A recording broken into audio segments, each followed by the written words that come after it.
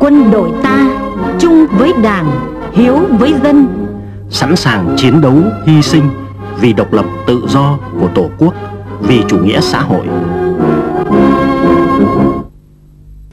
Kính chào quý vị và các đồng chí Hướng tới chào mừng 30 năm Ngày Hội Quốc phòng Toàn dân 22 tháng 12 năm 1989, 22 tháng 12 năm 2019, 75 năm ngày thành lập Quân đội Nhân dân Việt Nam 22 tháng 12 năm 1944, 22 tháng 12 năm 2019. Mở đầu chuyên mục Quốc phòng Toàn dân kỳ này là trang tin phản ánh hoạt động của lực lượng vũ trang tỉnh. Phần cuối của chương trình là phóng sự huyện Nông Cống tuyển quân chặt chẽ ngay từ bước đầu. Sau đây là nội dung chương trình.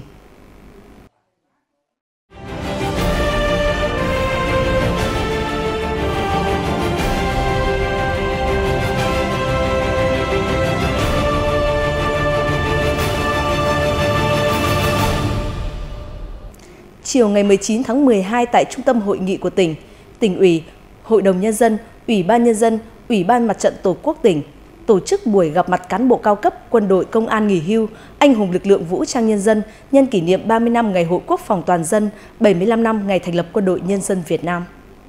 Tại buổi gặp mặt, các đại biểu đã ôn lại những kỷ niệm hào hùng của sự nghiệp đấu tranh bảo vệ và xây dựng đất nước qua các thời kỳ, những chiến công hiển hách và sự lớn mạnh trưởng thành của Quân đội Nhân dân Việt Nam trong 75 năm qua và ý nghĩa chính trị nhân văn sâu sắc của Ngày hội Quốc phòng toàn dân. Cũng dịp này, 100% các địa phương trong toàn tỉnh đều tổ chức gặp mặt các đồng chí là cán bộ quân đội, công an nghỉ hưu, nghỉ công tác, anh hùng lực lượng vũ trang nhân dân trên địa bàn. Bày tỏ niềm xúc động khi được tham gia buổi gặp mặt, nguyên các cán bộ quân đội công an cho rằng đây là dịp để lớp cán bộ đã về hưu được gặp gỡ, thăm hỏi, động viên lẫn nhau.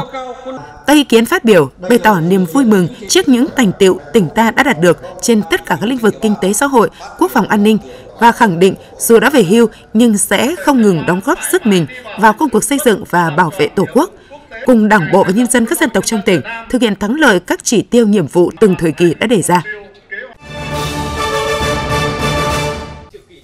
Kỷ niệm 30 năm Ngày Hội Quốc phòng toàn dân, 75 năm ngày thành lập Quân đội Nhân dân Việt Nam, thừa ủy quyền của Bộ Quốc phòng và Bộ Tư lệnh Quân khu 4, Bộ Chỉ huy quân sự tỉnh Thanh Hóa đã tổ chức khánh thành bàn giao nhà tình nghĩa cho các thân nhân liệt sĩ trên địa bàn tỉnh. Các gia đình được nhận nhà đợt này là gia đình bà Lê Thị Tuyết, con gái duy nhất của liệt sĩ Lê Hồng Minh ở thôn Đồng Cổ, xã Xuân Thiên, huyện Thọ Xuân và gia đình ông Trương Hồng Minh là thân nhân liệt sĩ Trương Văn Hoàng ở thôn Côn, xã Ái Thượng, huyện Bá Thước, tỉnh Thanh Hóa. Hai căn nhà tình nghĩa trao tặng đợt này được xây dựng trên diện tích 70 m2. Nhà cấp 4A kiên cố có sân vườn tăng gia, đảm bảo cho các gia đình ổn định cuộc sống và là nơi thờ cúng các liệt sĩ. Với tổng kinh phí xây dựng mỗi căn nhà gần 200 triệu đồng, trong đó Bộ Quốc phòng hỗ trợ 80 triệu đồng được trích từ quỹ đền ơn đáp nghĩa do cán bộ chiến sĩ trong toàn quân đóng góp hàng năm. Cùng với sự hỗ trợ ngày công xây dựng của lực lượng dân quân địa phương và người thân trong gia đình. Cùng với các hoạt động hướng tới kỷ niệm 30 năm Ngày hội Quốc phòng toàn dân, 75 năm ngày thành lập Quân đội Nhân dân Việt Nam, mới đây, Bộ Chỉ huy quân sự tỉnh đã tổ chức khánh thành và bàn giao công trình đường giao thông liên thôn phục vụ dân sinh tại thôn Triềng, xã Xuân Lộc, huyện Thường Xuân. Con đường có chiều dài hơn 300 m, rộng 3 m, độ dày bê tông hơn 20 cm với tổng số tiền gần 140 triệu đồng. Được trích từ quỹ đóng góp ngày lương của cán bộ chiến sĩ, cơ quan Bộ Chỉ huy quân sự tỉnh Thanh Hóa, cùng với hàng trăm ngày công lao động của cán bộ chiến sĩ và nhân dân địa phương. Công trình hoàn thành và đưa vào sử dụng, góp phần giúp bà con trong thôn đi lại thuận tiện, cải thiện đời sống, đồng thời giúp địa phương sớm hoàn thành tiêu chí xây dựng nông thôn mới. Cũng trong dịp này, Bộ Chỉ huy quân sự tỉnh Thanh Hóa đã tặng thôn Triềng, xã Xuân Lộc một bộ thiết chế văn hóa, giúp nhân dân trong thôn tổ chức các hoạt động văn hóa, cộng đồng, lễ hội tại địa phương. Vừa qua, Bộ Chỉ huy quân sự tỉnh tổ chức hội nghị sơ kết 5 năm thực hiện phong trào thi đua ngành hậu cần quân đội làm theo lời Bác dạy giai đoạn 2015-2020. Trong 5 năm qua, ngành hậu cần từ tỉnh đến cơ sở luôn bám sát các nhiệm vụ trọng tâm của đơn vị, từ đó luôn đảm bảo kịp thời đầy đủ các mặt công tác hậu cần cho nhiệm vụ huấn luyện sẵn sàng chiến đấu và các nhiệm vụ thường xuyên, nhiệm vụ đột xuất. Tại hội nghị, các đại biểu đã thảo luận nêu rõ những kết quả, thành tích nổi bật cũng như những hạn chế nguyên nhân, rút ra bài học kinh nghiệm, đề xuất những chủ trương giải pháp tiếp tục lãnh đạo chỉ đạo thực hiện có hiệu quả, chất lượng hơn nữa phong trào thi đua trong thời gian tới. Dịp này, Bộ Chỉ huy sự tỉnh đã trao tặng giấy khen cho 10 tập thể và 13 cá nhân có thành tích xuất sắc trong thực hiện phong trào thi đua ngành hậu cần quân đội làm theo lời Bác Hồ dạy giai đoạn 2015-2020. Cũng dịp này, Ban Chỉ huy quân sự huyện Thọ Xuân đã tổ chức chung kết hội diễn văn nghệ quần chúng lực lượng vũ trang năm 2019. Với các tiết mục được dàn dựng công phu, hàng trăm diễn viên không chuyên ở các đơn vị tham dự đã mang đến hội diễn các tiết mục đặc sắc, ca ngợi Đảng, Bắc Hồ, truyền thống quân đội, đoàn kết quân dân, phong trào chung tay xây dựng nông thôn mới và học tập làm theo tư tưởng, đạo đức phong cách Hồ Chí Minh. Hội diễn là dịp để giao lưu học hỏi, tạo phong trào hoạt động văn hóa, văn nghệ rộng khắp trong các cơ quan đơn vị, đồng thời cổ vũ, động viên cán bộ, chiến sĩ lực lượng vũ trang huyện luôn khắc phục mọi khó khăn, thực hiện thắng lợi mọi nhiệm vụ được giao.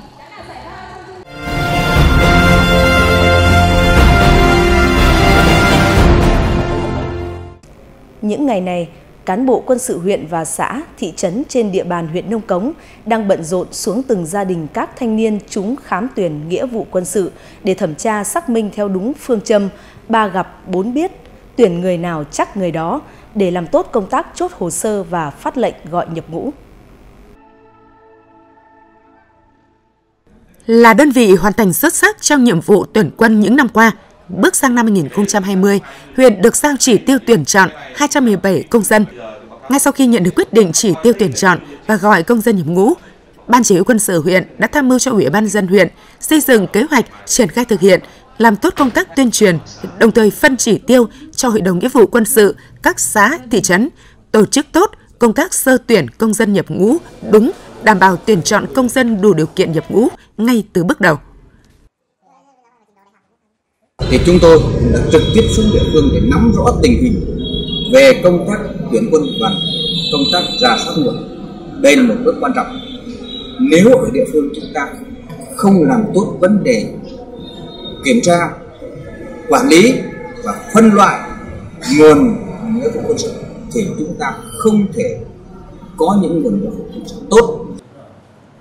Thực hiện chủ trương tuyển quân tròn khâu ở các bước Hội đồng nghĩa vụ quân sự các xã đã tổ chức phát thông báo cho các thanh niên đủ điều kiện khám sức khỏe nghĩa vụ quân sự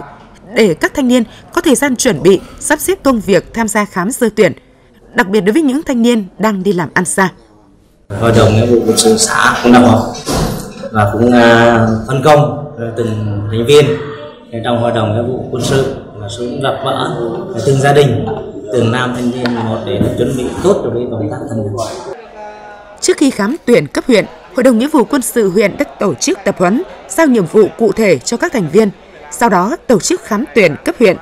Các bác sĩ đã tiến hành khám sàng lọc chặt chẽ các bước, gồm khám thể lực, thị lực, ngoại khoa và nội khoa. Quá trình khám tuyển đã sử dụng các trang thiết bị hiện đại, loại bỏ được những đối tượng sử dụng các chất ma túy, nhiễm HIV, mắc các bệnh tiền sử mãn tính, đặc biệt là các biểu hiện trong khám tuyển. Các thanh niên đi khám tuyển vui tươi hàng hái. Khi nghe tin trúng tuyển nghĩa vụ quân sự thì em cảm thấy bản thân mình thật ờ, vui mừng và sung sướng khi đã được trúng tuyển được đóng góp một phần sức lực để bảo vệ và xây dựng đất nước. Với phương châm ba gặp bốn biết, gặp công dân, gặp gia đình, gặp địa phương, biết sức khỏe, biết văn hóa, biết lai lịch, biết phẩm chất đạo đức –